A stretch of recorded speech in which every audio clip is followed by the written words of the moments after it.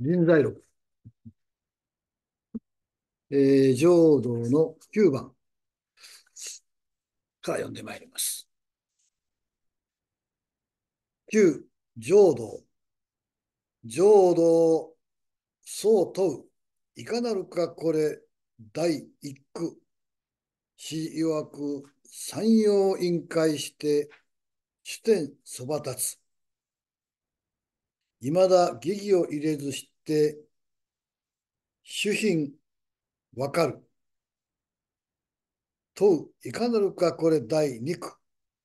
詩曰く、妙下兄無弱の問いを入れんや。王はいかでか節るの木に背か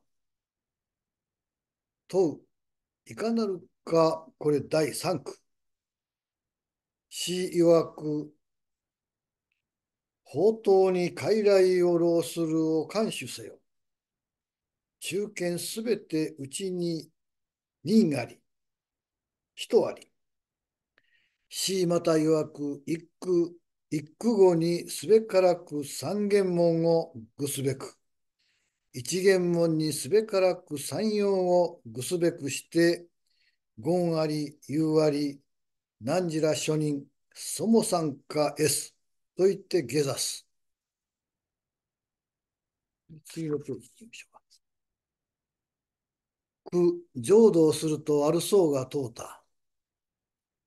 死の善の第一個はどういうのですか死、三葉の因を神に押してから因を持ち上げると、主の一点一角がくっきりと現れ、そこには憶測を差し挟む余地もなく、主体と客体とが歴々と権限する。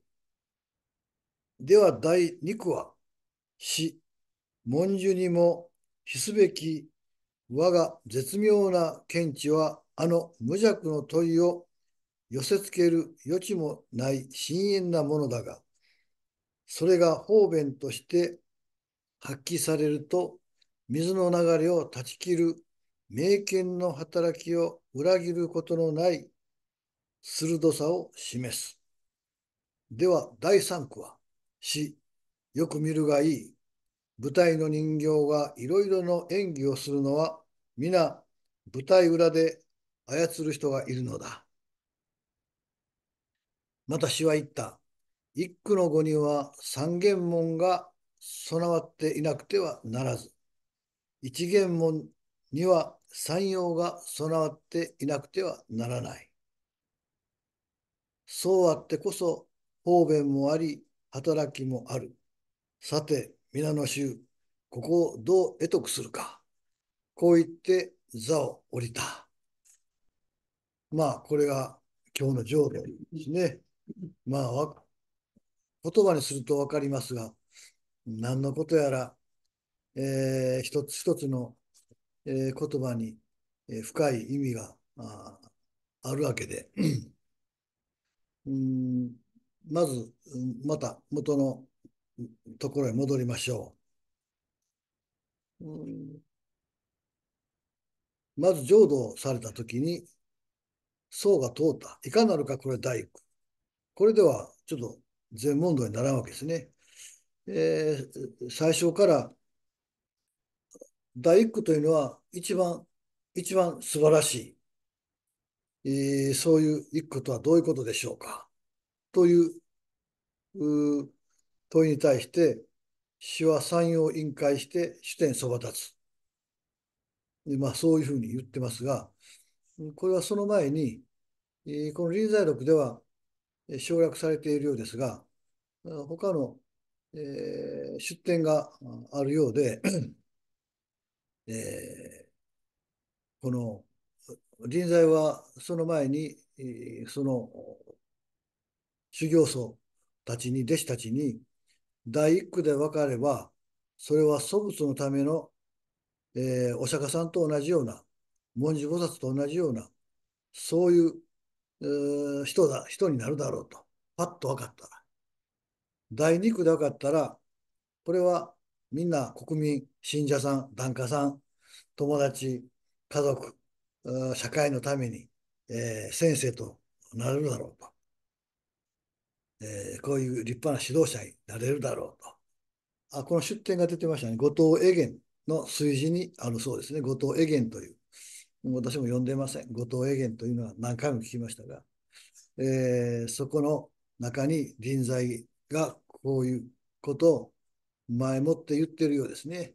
で、第3区で分かってる人は、これはもう自分自身も救えることがなかなか難しいなと。もう理屈っぽい分別だらけで、えー、分からんだろうと。まあそういう、うん、ことを言ってるんですね。人材の3区という、というところですが、えー、そこでですね、えー、このこういう1区、2区、3区というものを臨在は言って、えー、もう祖師方と同じだと。あるいは先生のようだ。あるいは自分すらも救えることができない。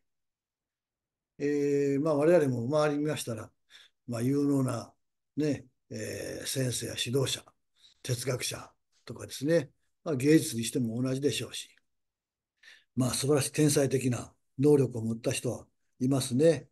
えー、そして一方では、我々学校で習ってきた小学校、中学校で、えー、まあ学校の先生は悪いわけじゃないですが、一応教養を身につけて、力を身につけて、そして、えー、そういう分野を勉強して、えー、そして指導してくださっている。うまあそういう先生方は立派ではあるわけですが、うん一つの発明をする、ノーベル賞をもらったり、一つの何か一つのどういうかね新しい分野を発揮させるようなそういう立場じゃないですね。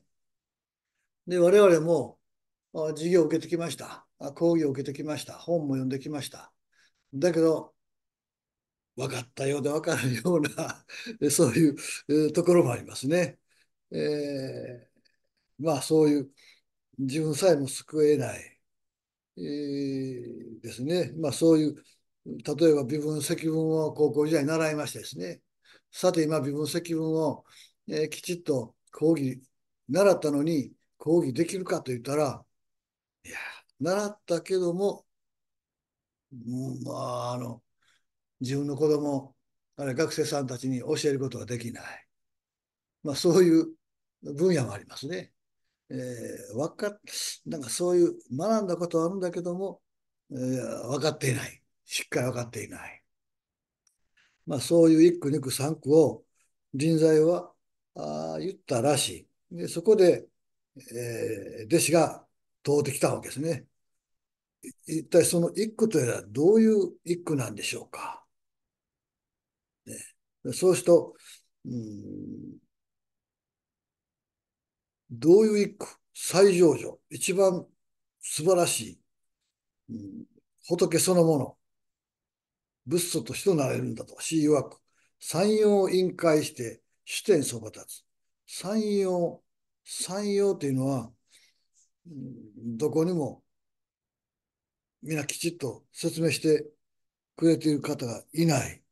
この三様2番の客中、イリア先生がまあ、最高の立場を持っていますが、第一句から読んでみましょうかね。ちょっと脚中のところ、後ろから2行目ですね。以下、自らの善の趣旨ないし特徴を3つの命題に要約するが、極めて象徴的で難解だ。イリア先生も、もうダメ、わからないって言ってるんですね。しかも、えー、同時代の原社前時の三区公衆のような段階的な展開ではなくて、いわば三位一体的な構造になっている。これは1の第1句というところで脚注がありますが、第2のこの陽というやつですね。三元三陽という。下の三元と同じ陽ということで三元、三陽。その内容は伏せられているが、命題の三本立てと対応させて人材の前方の革新を3点に集見させた暗示であろう。これもね、あの私も足元に及びは何もわからないあの無学のもんですけども、リリア先生のあの内容も、もう私に、皆さんもわかりますか？これ。この説明だけではわからんでしょう。だからそれは客中になっていないと思いますね。ちょっと逃げ工場のような、まあ、先生いらっしゃって怒られると思いますが、え、なんせこの世界ですね、えー、私が言っているのはあのこの私は例えばこれ聞いた。これは誰も聞いてません、ね、いつもわかります、ね、私の表現ですよ。今寒い。これも今わかりますね。今エアコンの音が聞こえてますね。あこれが私がいつも言う法というやつね。自頭名法頭名いや法華経とか聞こえませんが田舎行はもう泣き出してるでしょ。うウグイスこれが分かったらだからお釈迦さんが星を見た、ね、秋の明星を見てそれで分かったんですね。我々星見ても親父の日記にもですね寒いっていうだけでしたですね。あの老髪で12月8日秋の明星を見ながら焚き火が与えられてですね。私らの焚き火でですね真っ暗ですよ。夜中3時頃ですよ。それから用意して朝風呂に行かしてくれるんですね。あの近くに平野温泉がありまして。えー、だけどお釈迦さんはそれを見てエアコンの音を聞いてわからない。これ第一句です。だからまあ文殊菩薩とかお釈迦さんのような立場にはまだ遠いかなという自覚も出てきますね。これで分かったら、ただこれこれですね。これなんぞ。ただこれこれ。これこれ。ただこれこれ。ね、ただこれこれ。これはみんな全問答、こんにゃく問答みたいに分からんでしょう。第一句。まあ真理そのものでしょうかね。で、例えばこれは赤です。これは陰菌です。これは次に言う、あの、言葉で言うてますね。ああ、ですね。で、で寒いというのは言葉にすると寒い。だけど、この感覚は同じ環境に今いますから、同じ維新電子でもいいでしょう。うんね、同じビールを飲むような感じですね。乾杯して、同じお茶を飲むみたいなものです。で、言葉で言うてしまうと、寒いだけでは、この実感はないですね。えー、だけど、これを言葉で表現できる。あ、綺麗な花やとか。で、お互い共有している。体験を共有している。でそうすると、あ、お嬢さんが手を打った。これは第二句です。手を打った。これは表現できない。寒いも寒いという世界は表現できない。みんなが共有して同じこう耳で聞こえる。あるいは暑さを、寒さを感じる。これ、それは寒いとかですね。あ、飛行機が通ったですね。えー、皆さんこれからですね、えー、当分、まあ、我々で一緒に座禅を知るわけですが、ここでチーンとこう、えー、岡さん設定してくれた7時20分が、あの頃にですね、スーッと鏡のような状態でおりますけども、これだけはですね、聞きたくなくても聞こえます。チーンとかね、カチッカチッとか。いや、そうすると飛行機がいつも注意深くまた、スーッ、またすごー。7時20分頃ですね。まあそういう世界がある。で、次は、あ何でしょうね。第3句。これは自分さえも救えないという感じですね。これ働き、働き。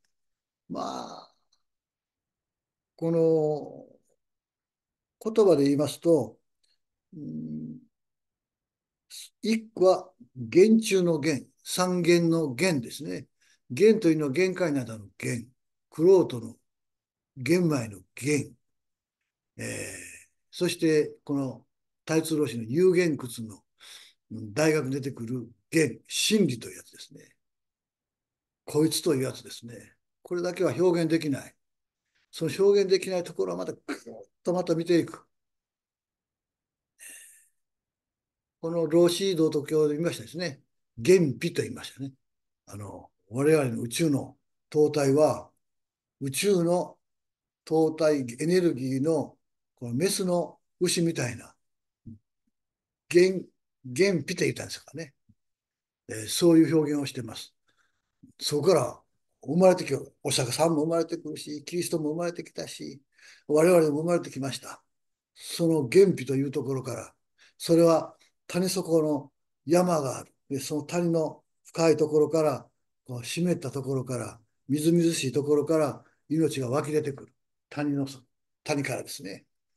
で山があり、山があると谷がある。あの、陽があると陰がある。オスがいるとメスがいる。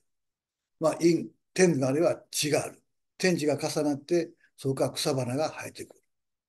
まあ、いろんな表現を、まあ、昔の人はずっと自然現象を見ながら、何が真理なのか。この宇宙の、こう、動かないもの、不動、不動のもの、永遠のもの、えそういうものを探し求めたようですね。まあ、我々も同じです。私は一体何何者なんだ？この宇宙は一体どういうことなんだ？で、天文学者とかですね、まあ、いろいろこう、表現をしますが、それを知れば知るほど、まあ、摩訶不思議というか、恐ろしいというかね、あの電子の光は、雷の光は、1秒間に30万キロ、こう、パーッといくんでしょ？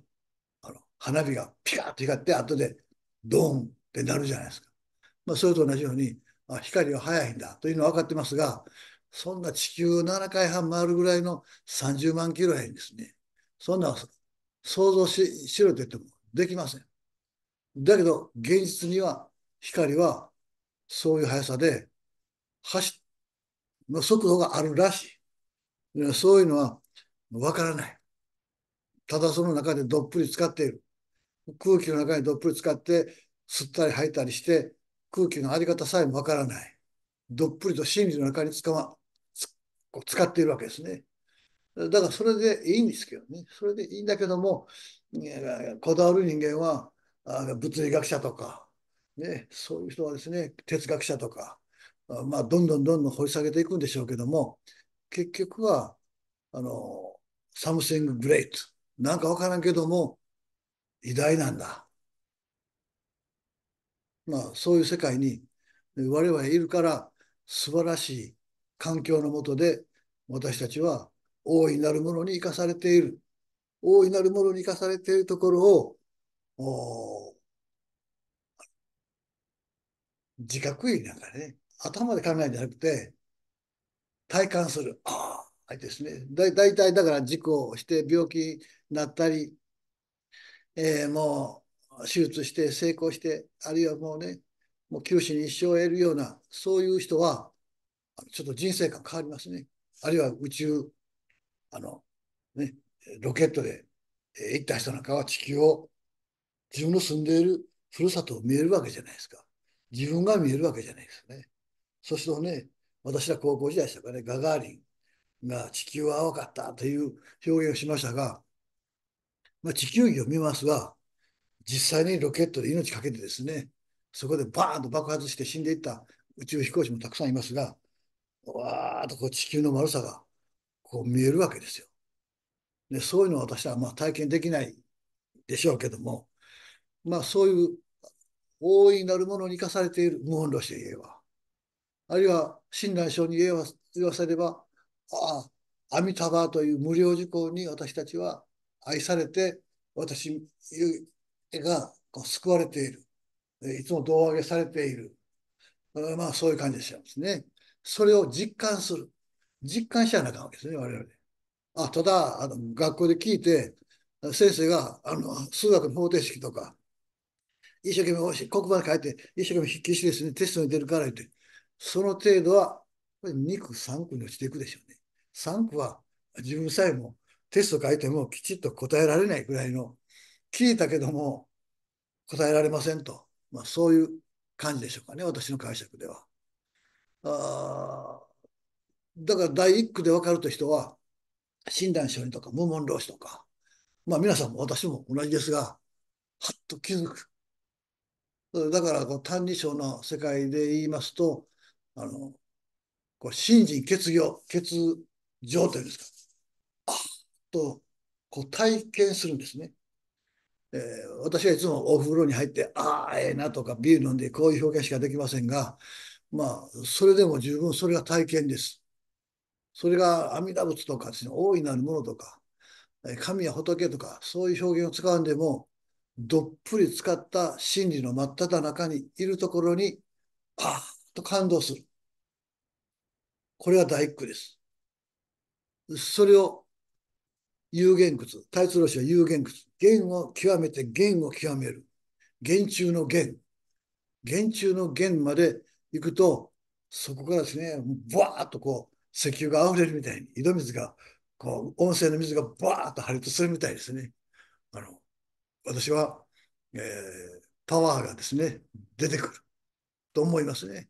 だから、お釈迦さんもイエスも、親鸞も日蓮も、まあ、そういう、うまあ、歴史で習ったような、そういう宗教者とか、えー、まあ、世の中政治家でもそうでしょうけども、力が湧いてきよる。こうしたい、世の中こうしたいとかですね、皆さん心配しなくていいよとかですね、まあそういう類が一句でしょう。まあ二句、まあこれは花です。ね、これは赤です。これは陰金です。これは苦中の弦。苦中。言葉での真理。これは白です。これはグリーン、グレーンです。まあこれですね。間違いじゃない。だからそういう理屈ばっかり言ってもね、しょうないですけども、で、それで、あの、次3区はどうかな言ったら、わおお久しぶりとかですね、おはようございますとか、さよならとか、寒いね、今日はですね、もうね、暦で言ったら明日、明後日ぐらいが、あの、あれ、啓蟄じゃないですかね。啓蟄ついたらね、ほかほか、ね、暖かくなるはずなのに、まあすぐなると思いますが、今日、昨日とですね、まだまだ寒い。えー、まあ、寒いという感じでしょうか。まあそういうところで、うん、元というところがですね、山陽三元というところで私は、うんいろんな本も見てみましたが、きちっと私に分かるような説明をしてくれる本には見当たらなかった。だからそれは、ひょっとしたら、臨在が使っている言葉で、例えば、大きに大きにで我々ね、ちゃうちゃうとかですね、ちゃうちゃうでも、これは違う違うと言うんですが、他の人が来たら、ちゃうちゃうと聞いたら、何のことかなとかね、そういうことでしょう。だからその中国の方言というのも、一生懸命研究されてる人はいますが、三要三玄というのは、字ばっかり見ててもですね、これわからない。で臨済に直接あのその田舎のおっさんかも分かりませんけど、東北弁かも分かりませんかね。あの、ズーズー弁か分かりませんね。私は分からない。で、山陽というのは要ですよ。肝心要ですよ。肝心要、一番大事なキーポイント。ね、一番そういう大事なところ。3つあるというんですね。で、3ついたら、これ全問答。まあ、最後まで読んでしまいましょうかね。ああ、義業です。これも、これ、これはもう表現できない。ね、寒い。この寒いというのを表現してしまったから肉やね。で、主品分かつ。このハンコをパッと押して、パッと離す。我々はハンコの文化ですから、あハンコしますね。これ当たり前にやります。これは、主客、主と客、ハンコと紙、で手肉をつける、ペタッとなる、パッとやってそのまま映る。そのまま、そのままですね、そのまま聞いた。そのまま、そっくりそのままですね。私があげた。一本あげる。あ、和尚は、なんか人差し指立ち、立ち寄ったと。曲げよった。右手上げて、左上げて、グー、チョキ、パーやった。ね、これ何やいんですね。いや、これグーですよ。グーじゃないって言うんですね。グーじゃない。これ何やんです。見たまま、こうやらんしょうない。これないで、チョキです。あ、チョキじゃないで。チョキじゃないという表現をしなさいったら、できませんって言うね。みんな頭で、これはチョキでしょ。これはパーでしょと言うんですね。これパーじゃないよ言うたら、え、パーじゃなかったらグーですか言ったら、お前アホかって、こうなるわけです。こ言葉で表現すると、そこには真理は通じない。こう。これは写真で写ったら、あ、これでええわけですが、これはチョキですよ言ったら、ちょっと天地の隔たりがありますね。まあ、そこら辺がちょっとニュアンス分かりましょうね。でそういうところでこう臨在はこういう時代の人ですから1300年前の人ですから今までが通ずるのは神があって反抗したらそのまま通るじゃないかと。我々そういう仏性といいますかね天から授かったままの天と全く同じものを授かっている。ね。見える、聞こえる。ね。で臨在は言うている。わしから見たらこれはいくらお釈迦さんが偉い言うても、釈迦もわしと同じやなと。これは神の子やし、天の子やし、ね、天が授けたものやし、もちろん母親の子供でもあるわけですが、それは母親を支えているのも天やし、私は天の性質を持っている、性格を持っている、機能を持っている。だから、私は、あの味の素じゃないけど、神の素、ね、えー、だしの素じゃないですけど、神様と同じ性質を持ってるんだ。仏さんと同じ性質を持ってるんだと。いやー、仏さん神様ってね、崇めるんじゃない。ね。えー、釈迦と別ならずというところに気づく。だから気づかない人は言葉で一生懸命お経を覚えて、そして哲学の本を読んで、そして祖師方の言葉を読んで、ああ、感動する。まあ、それも悪くない。でそれでも分からん人は、まあ、ああでもない、こうでもない、ああでもない、こうでもない、人生も人生ですね。でそれも別に、あの、良し悪しはない。だけど、せっかく、ね、こうして人として生まれてきて、ね、そして体を授かって、そして、えー、この諸行無常の、ね、この体は永遠に持たないけども、その中に私は体を持っているときに、永遠不滅の真理を得るという、そういう欲を、ね、大きな欲を持たんことには、ただただ食べて寝て、ね、好きや嫌いやうまいか、まずいとか言って、え人生を送る人もいるでしょうけども、それにプラスアルファ、もっとプラスアルファですね、厳中の厳をですね、えー、欲を持って、俺は天下人になるぐらいの天上天下優雅独尊になるんだと。神だと。それまあ周りから気違いやと言われるか分かりませんが、まあ、そこまで、ね、あの表現をあのしてしまうとちょっとねおかしな表現になりますが主人公、ね、私は本当に自分のこの体を持って、えー、主体的に、えー、この新人欠業欠場というんですかね。あの浄土真宗のああれではですねまあ、悟りの世界を持っていくでしょうかね。まあ、あのー、言葉では私は、ね、表現下手ですが、疑義を入れずして、主品分かったず、主の客もない。皆さんどうですかね？えー、お風呂入ったり、ビール飲んだり食べたり、ね、いろいろ、そういうところでもいいと思います。そこでしっかり口が動く、歯が動く、唾が出て、この食堂に入っていく。運水修行している私の友人は、新さん、私最近とてもこだわるようになったんです。もうどういうことやった？不思議なんです。なんでやったなんです。口が動くんです。当たり前やないかいだね。食べたら、まあ、まあ、座禅するとね、ちょっとおかしくなります。これ、こいつは誰やいるわけですね。この歯が動いて噛んで、そしてベロでですね、こうこねて、そしてぐっと飲んで、こう入っていきよる。これ誰が指してるのって感じです。おお、そこまでお前は感じてんのかと。ね。えー、まあ、あの、友人でしたが、おそれは面白いなと、私も思いました。どうぞ自分がですね、歩いているとか、あれよくビパサナで自分がこう筋貧というのでしょ。足がしびれてるときに。南方のこの瞑想法は、右足を出しました。なんかそういうことやるらしいですね。左足を出しましたとか。でそういうところもよく見る。えー、主賓分かった、分かった。問う、いかなるかこれ第2句。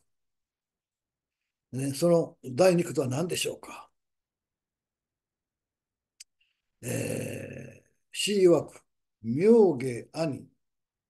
妙下というのは文殊菩薩の知恵らしいですね。うん、で妙下、妙下知恵が無弱。無弱というの問いを入れんやと。なんかそういう昔のそういう話があるんでしょう。文殊菩薩と無弱との問答がある。それをなんか、本人はなんかウパーやとなんかこういう表現をしてますが、私はそういう知識がないので、王は、王はいかでか、節るの木に背かん。節る。これ、切断する。流れてしまう。一切の煩悩を断ち切る。働きに背かんや。まあ、こういう表現を、第二句のところですよね。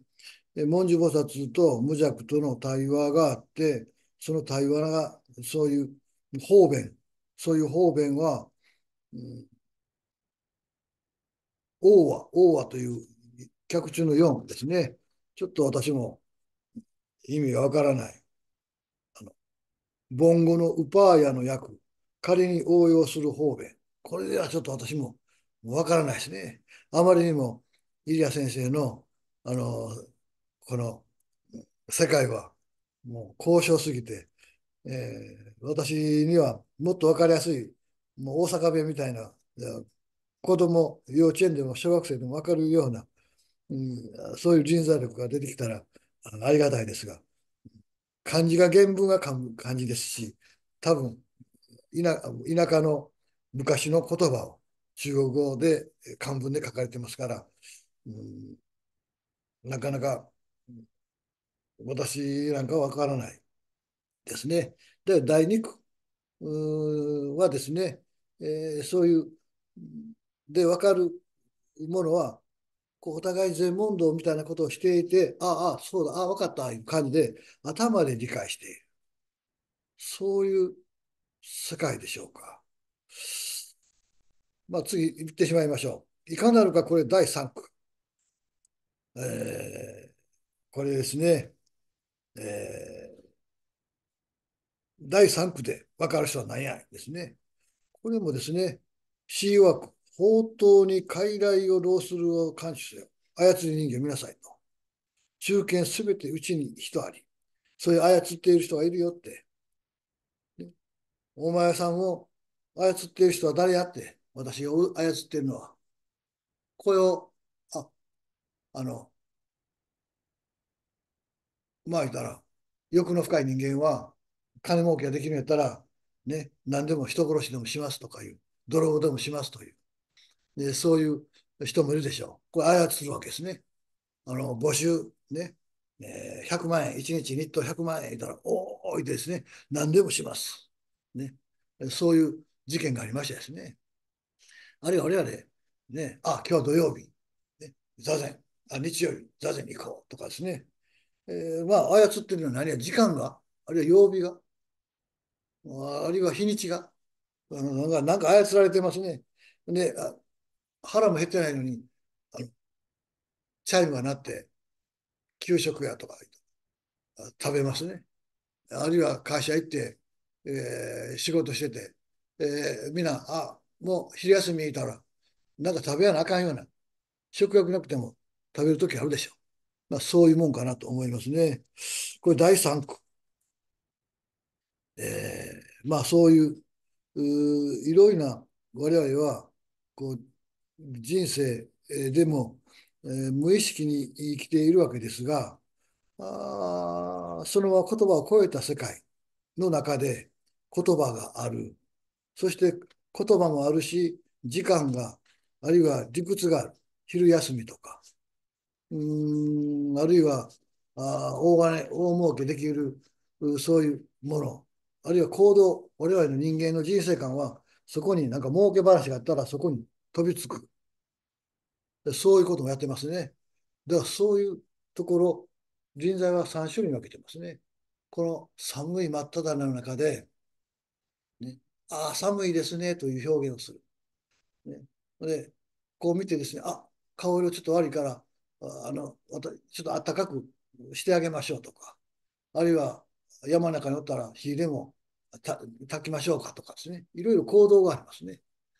で、その中でも、第三空というのは、まあ、うん、そういう言葉でまた操られる腹が減ったとか、そういうところもありますね。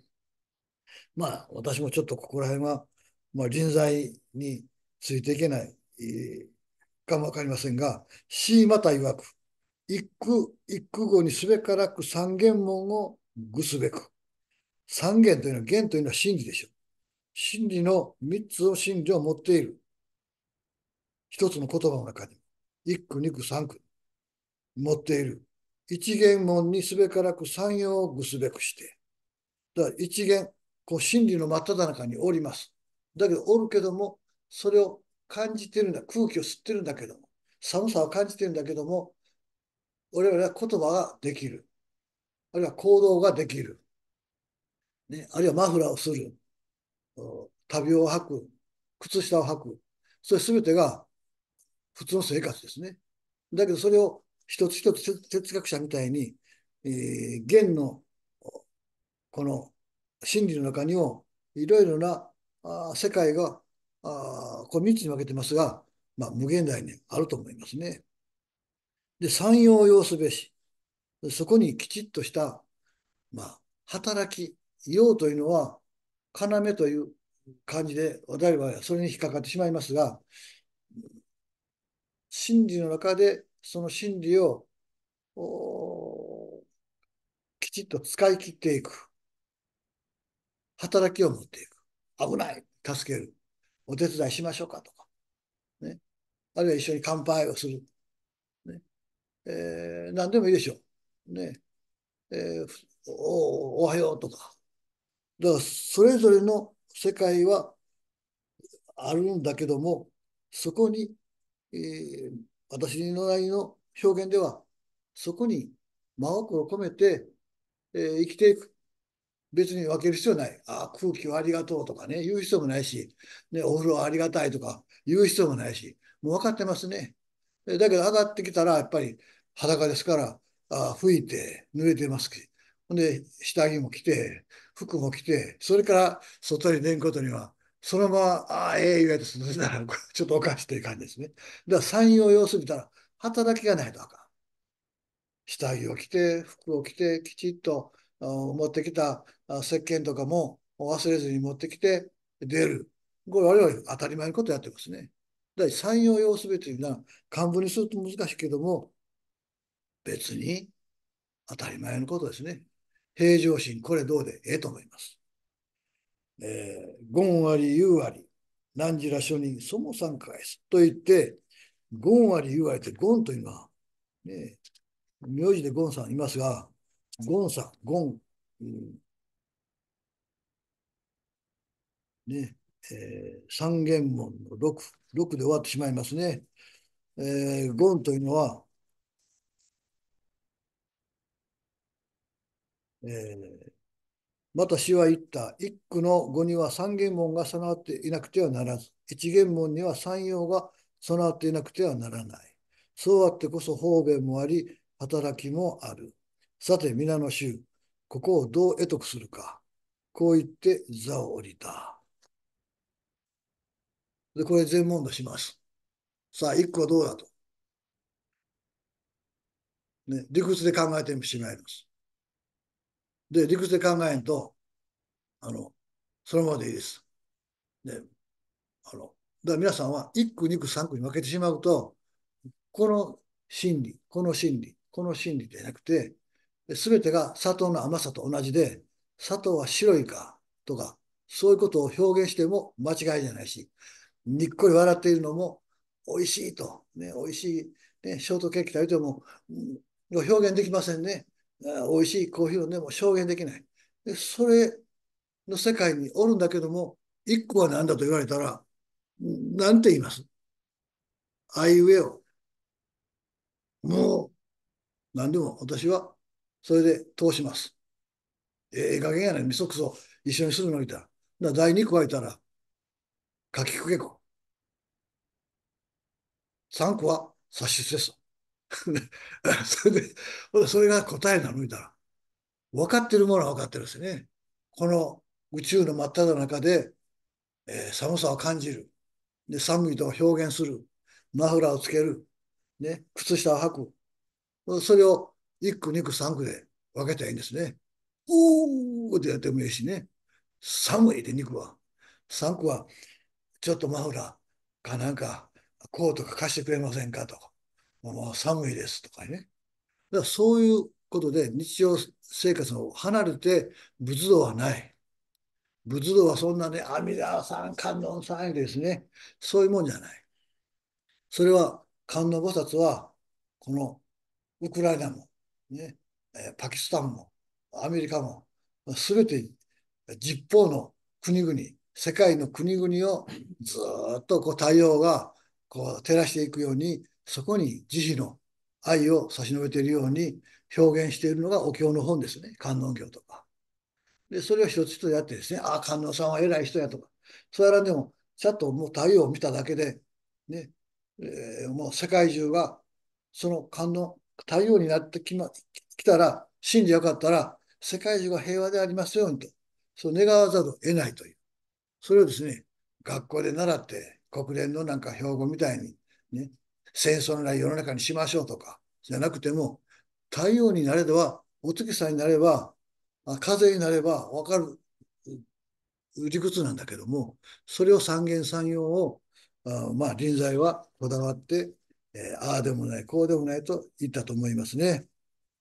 えー、だからですね、伝統的な臨済宗の禅問答は、あの重箱のような表現をしてます。あの1段目、1個は何やったあ、これは赤飯ですね。と2段目は、あ、これはあの、あえ物が入ってますね。とで、3段目は何や ?3 個は何やあ、唐揚げです。今で言うとこんな感じでね。それでも、あのまあ、昔は唐揚げも江戸じゃなかったですが、そういう伝統的なあ室内ではそういう表現もしますが、振り回されたわけません。三元三様というのは、言葉では素晴らしい言葉ですが、私たちの世界は言葉以上に素晴らしい真理の真っ只中で、阿弥陀仏の中で、あるいは釈迦牟尼仏の教えの体験の世界の中で、私たちは悠々自適に、こう、主人公として、えー、遊戯三昧しているというところを発揮すれば私はいいかなと思います。まあ今日はこれぐらいにしておきましょう。